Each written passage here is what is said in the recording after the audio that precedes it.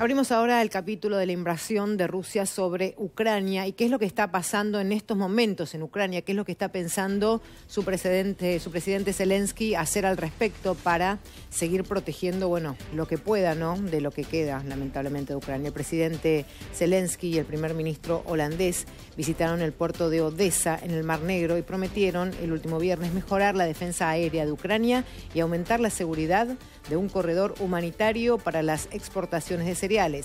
Zelensky dijo que Kiev estaba trabajando para fortalecer su posición en el Mar Negro para poder continuar con las exportaciones de cereales, que son vitales para garantizar los ingresos presupuestarios tras un aumento en el gasto de defensa tras la invasión de Rusia el año pasado.